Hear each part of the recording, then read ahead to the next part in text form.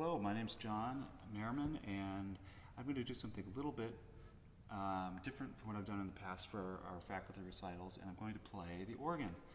Um, I found myself in the past eight or nine months, um, uh, I guess, you know, the paths of our lives lead us in surprising ways, and I've been a pipe organist um, since last August. My wife and I were in Massachusetts, and um, we were wondering what we were going to do when our son was born. And then I was called and offered to do this job at uh, Immaculate Heart of Mary Parish in Auburn. And this is Sacred Heart Church. We have two churches in that parish. And we also have two organs in this particular building, Sacred Heart Church. And this instrument I'm at right now is an electronic uh, Allen organ, and it comes out of the loudspeakers, the sound. We actually also have a beautiful um, pipe organ in the back. Show you that, which is newly installed. We purchased this from a convent that was kind of close. I think I believe the convent was closing in the Midwest, and um, it's all installed. It sounds amazing. I love, I love playing it, but we kind of want to save the public unveiling of it for, um, you know, a big ceremony. So I hate to spoil it and do it in one of our videos, and then it's kind of taking the thunder away from our big ceremony. So I'm just going to use the Allen for today. Um, now I'm going to play a couple of pieces because one thing that's great to do if you're a composer and you don't know an instrument that well is to just write a lot of music for it. So um, what I've been doing in church is doing a lot of improvising on it and also um, every week or so, I, I write, a, I write a piece to play, like postlude, and, and uh, just play them as people are leaving.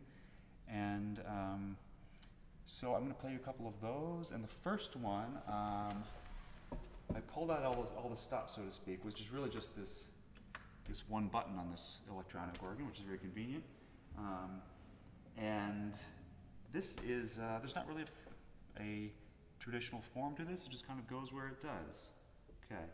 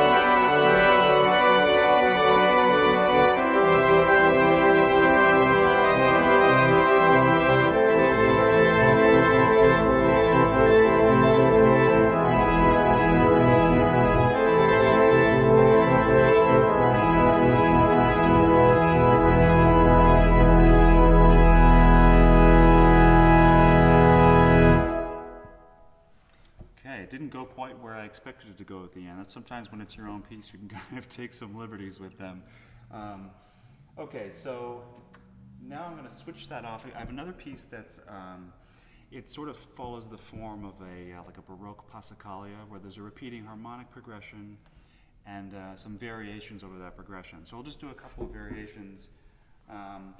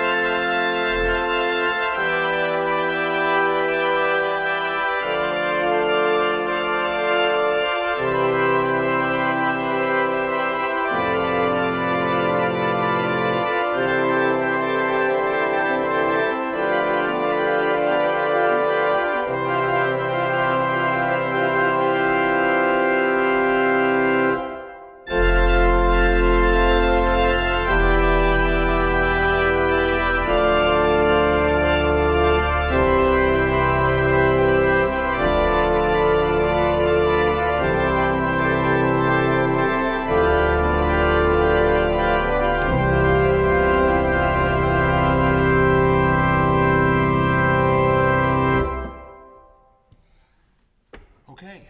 I hope you've enjoyed those, those two uh, new pieces from a novice organist. Thank you.